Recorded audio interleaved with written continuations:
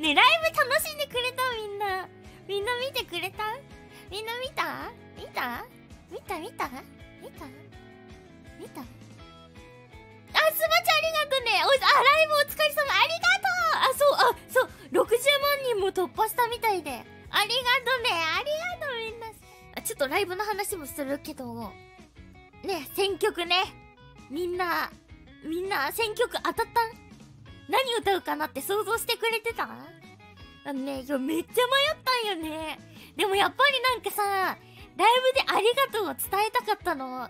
そう。だから、なんか今はちょっと動画見れないんだけど、そう、合言葉を歌ってみたをあげてて、そう、もしかしたら知らない人間様もおるかもしれないんだけど、そう、昔、昔？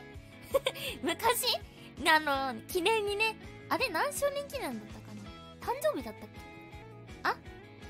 あれ？2周、あれ？2周年であげた？あいつ2周年じゃないまあ、とりあえず記念で歌ってみたをあげたんだけど、そう、今はね、ちょっとね、あの、動画を非公開になっているんだけど、うん。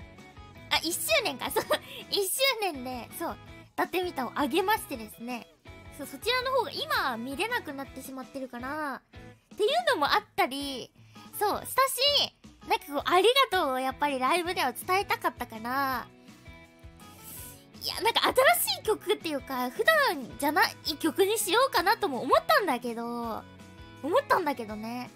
それちょっとやっぱり、やっぱりみんなにありがとう伝えたいし、今聞けてない合言葉を、やっぱライブで歌って届けたいなって思ってね。そう、実は合言葉さんをね、あの、歌わせていただいたんで、歌って踊ったんですけど、まあねあのー、踊って歌った後のよう自身を見たらね。うん。